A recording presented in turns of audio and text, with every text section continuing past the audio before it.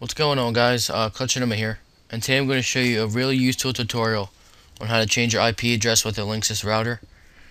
Um, I'm pretty sure this can be done with other routers, but I have a Linksys, so that's what I'll be showing you on.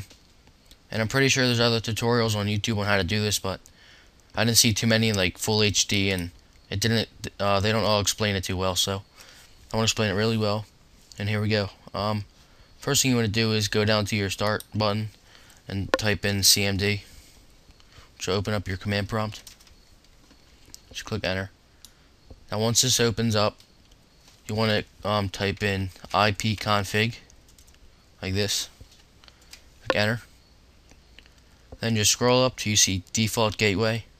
What the hell is all this shit? I don't even know. Whatever.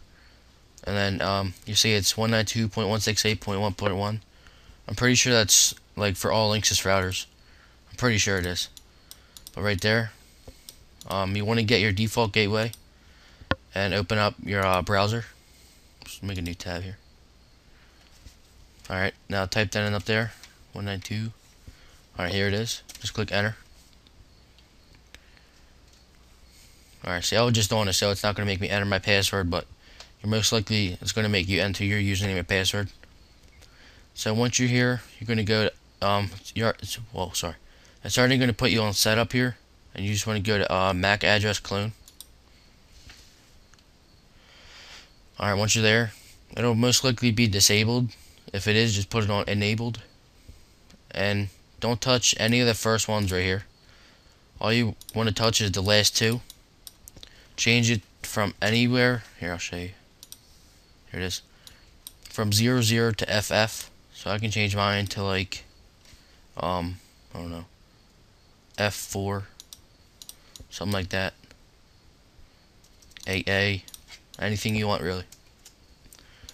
So, um, so once you do that, guys, whenever you have it on there, you want to click Save Settings, but what it will disconnect you from the internet. So all you want to do is um, unplug your router and your modem for like 20 seconds and just plug it back in.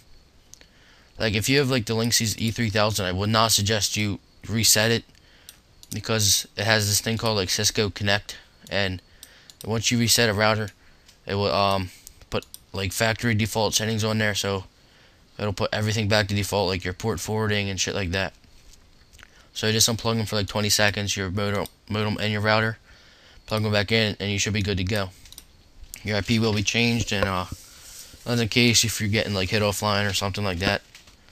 So if you guys have um, any trouble with this just let me know I'll be sure to help. So, um, that's it, guys. Remember to please rate, comment, and subscribe. Alright, see you.